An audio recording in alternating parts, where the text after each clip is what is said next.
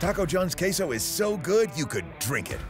But why drink it when there's a whole menu to dip and drizzle with this creamy three cheese and hatch chili blend? Ah, forget it. Get me a straw.